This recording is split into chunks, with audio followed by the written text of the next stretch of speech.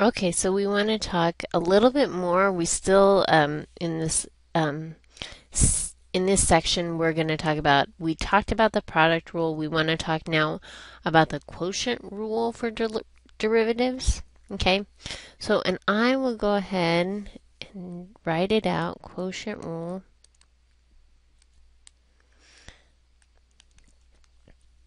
And I'll write in in this notation f divided by g and I want to take the derivative of that whole thing, okay?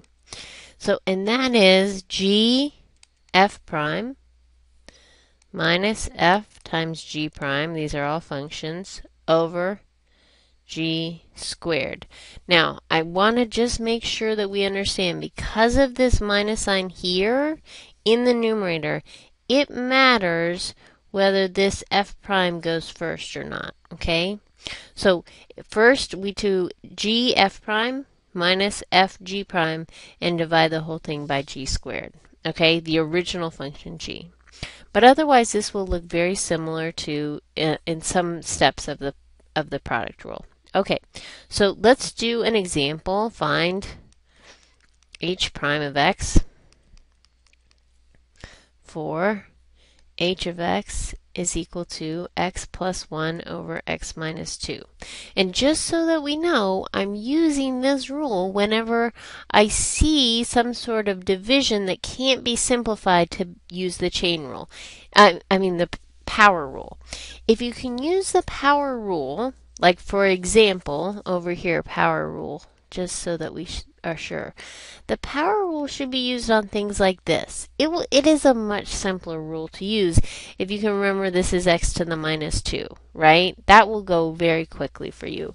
The quotient rule is one of the messier rules to actually implement, so use it when you necessarily necessary. I can't change this into something that looks like a power rule, so I'm going to use the quotient rule on this particular function. Okay, so first identifying the players, f of x is the numerator, x plus 1, and g of x is the denominator. That's pretty easy to do in the quotient rule, for the most part.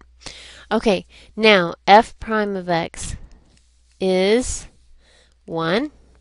Oh, g prime of x, also 1. Okay, this is good. I think we're going to start, we'll do a couple harder ones in a second.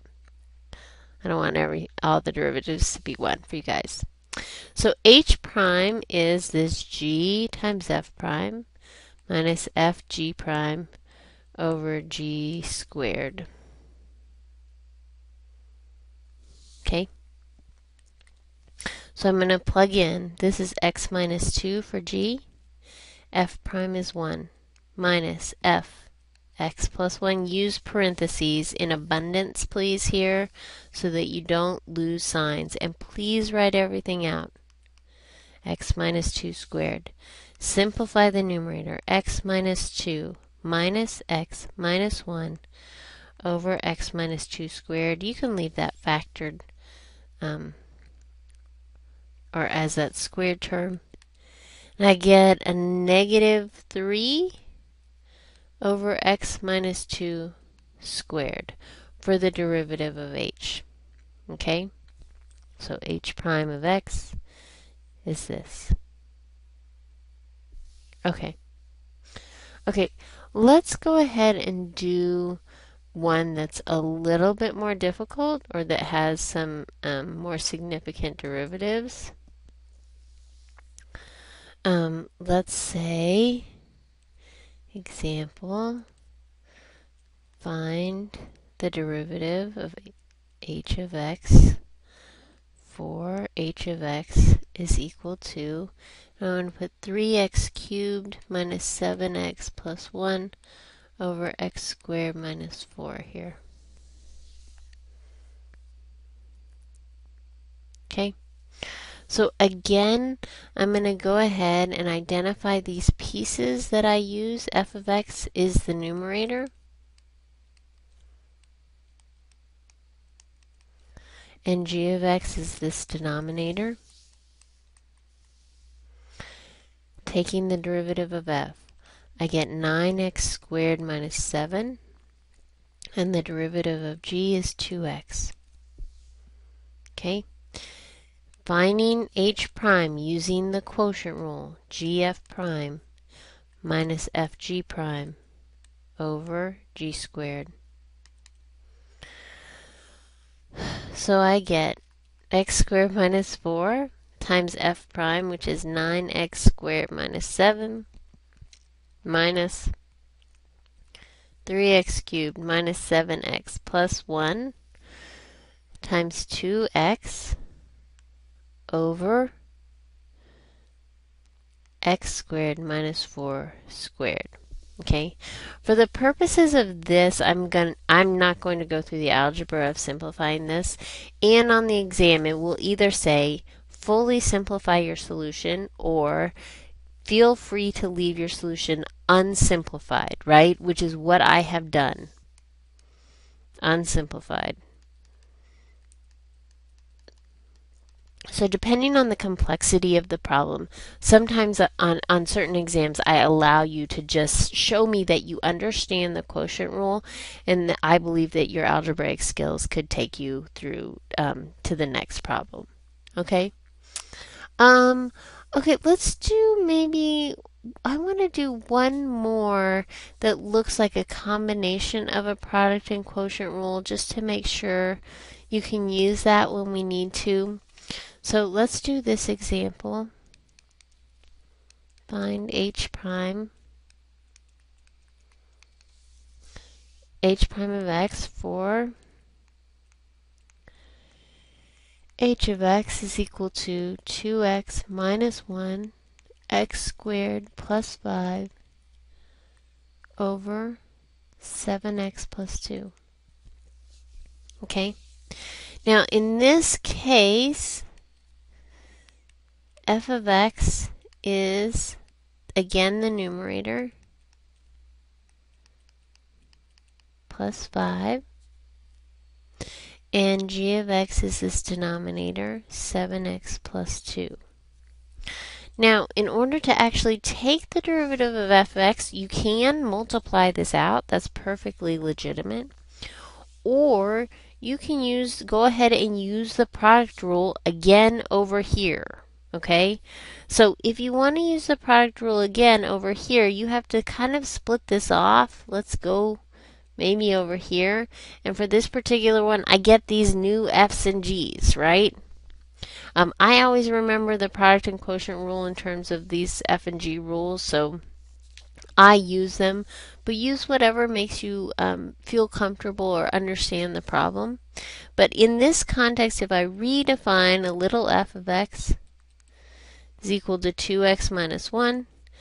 g of x is equal to x squared plus 5. And take the derivatives here, 2.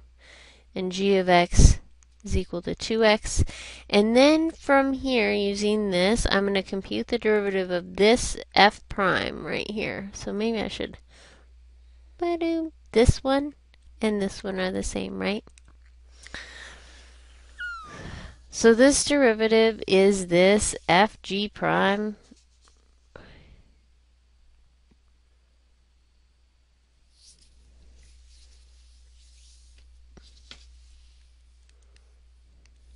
plus gf prime. Okay? From here.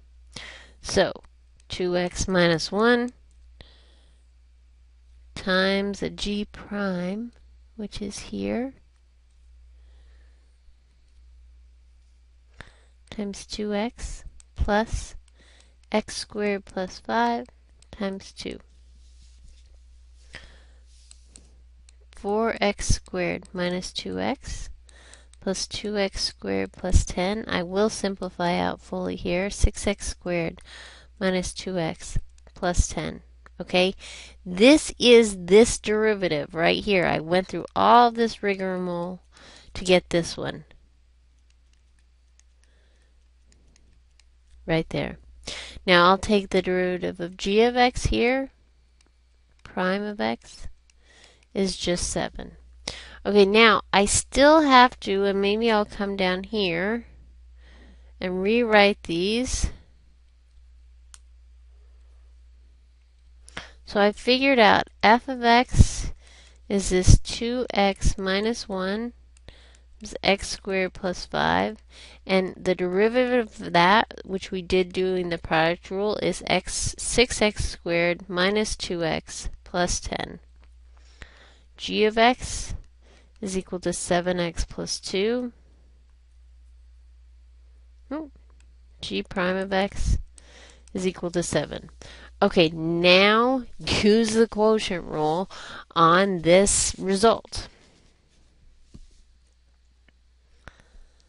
Okay, so h prime of x is equal to gf prime minus fg prime over g squared.